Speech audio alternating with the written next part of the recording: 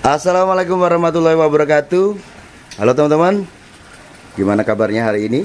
Semoga teman-temanku semuanya dalam keadaan yang baik ya Oke teman-teman Kemarin itu ada yang tanya Mas Anda kalau aku nggak punya kolam gimana dong?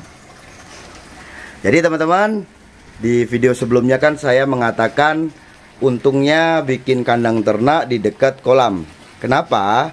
Karena kolam itu bisa menjaga kelembapan dalam kandang ternak nantinya. Ingat teman-teman, khususnya untuk di Jawa Timur ini kan memang e, musim tahunan ya akan terdampak angin timur atau angin dingin yang dari Australia itu teman-teman ya kiriman dari Australia.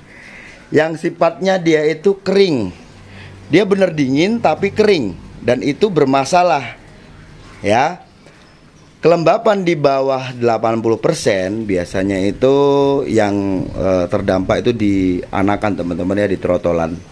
Indukannya pun itu juga ada beberapa kasus itu juga terdampak biasanya dia rontok ya tiba-tiba aja rontok. Kalau nggak gitu dia stres. Kalau nggak gitu dia nanti akan turun birahi sehingga dia nanti ngajar betina. Padahal burung itu sudah jodoh dan sudah produksi. Tapi entah kenapa tiba-tiba kok dia ngajar betina. Terus induk betina tiba-tiba mati. Matinya itu di dalam glodok e, sarang gitu ya. Itu ya dampak dari angin timur. Nah Burung itu kan membutuhkan kelembapan teman-teman ya. Yang paling bagus itu kelembapan di atas 85% Ya kalau di bawah 70% eh, itu tidak bagus untuk burung. Tuh ya. Nah teman-teman untuk teman-teman yang tidak punya kolam ya. Kalau ini kan kebetulan nih ya. Untungnya punya kolam jadi dia tetap eh, terjaga tuh kelembapannya. Kalau teman-teman nggak punya kolam, nah di sini teman-teman saya sengaja nih ya bikin kolam kecil ya. Jadi kolam kecil ini bukan untuk uh, mengairi kandang gitu, enggak teman-teman ya. Saya nggak suka kalau pakai uh, air minum tuh di bak ya, air minum, air mandinya di bak besar gitu ya, yang dialiri dari luar. Kan ada tuh ya teman-teman yang pakai kandang yang uh, dia permanen ya tempat minum tempat mandinya. Aku tuh tidak suka. Ya aku pengen itu uh, tetap bisa menjaga kebersihan setiap hari. Jadi untuk air minum saya tetap pakai uh, bak kecil teman-teman ya.